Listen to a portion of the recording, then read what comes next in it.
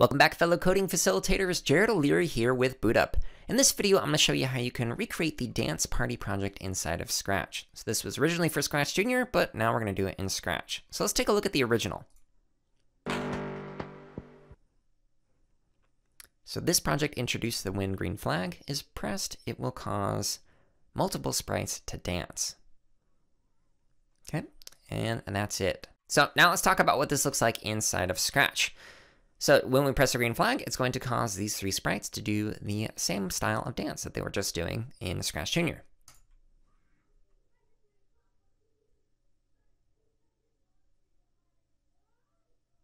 Okay, so all the same ideas, but using Scratch. So let's click see inside to see what this looks like.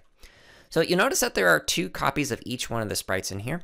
One is using the icon blocks, and then the other is using the XY coordinates. So let's take a look at these. So our Scratch Cat uses the exact same parameters as before. So 2, 12, 2, 12, 1, 1, 2, 2. And that is the exact same code that you see in Scratch Junior. So for example, 2, 12, 2, 12, 1, 1, 2, 2. This is what it looks like in Scratch Junior, and this is what it looks like in Scratch. So same idea. So this is the easiest way to integrate this into Scratch. Now, if you want to, you could also use some of the XY coordinates if you're interested in doing this with maybe some of the older kids. So you can have it so change y, so that'll make it go up, and then take away y, which will make it go down. You can have it turn, and then you can have it change y again. So more complicated, but again, this is all about experimenting. It's not about getting the right answer and making sure that everybody has 24 and 15 for the turns. That's not the point of this. The point is to get kids to create any kind of goofy dance they want.